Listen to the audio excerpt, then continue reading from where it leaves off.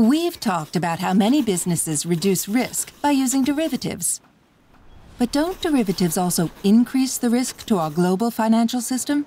After all, the notional amount outstanding of the swaps market is $480 trillion. That's about twice the amount of wealth in the whole world. But what does notional amount really mean? Hmm. Notional amount is a rough measure of derivatives trading activity. It does not measure the amount at risk. The gross market value of these instruments is a more meaningful measure of risk, and that comes to about $15 trillion. Still a large number, but compare it to the size of the global bond market more than $100 trillion. In addition, a number of factors work to reduce derivatives risk even more. Legally enforceable netting agreements that bundle together obligations between counterparties lower derivatives credit risk to about $3.3 trillion.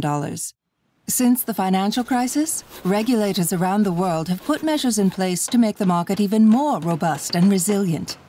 Nearly all derivatives today are backed by high quality collateral that can be used to cover payments which are due but can't be paid. Most derivatives also have to be cleared.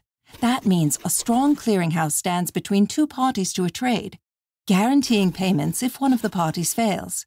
And today, we have far greater transparency all derivatives have to be reported to regulators, giving them a clear view of who's trading what. It's important to understand the size and risks of derivatives and their ability to help firms efficiently and effectively manage risk.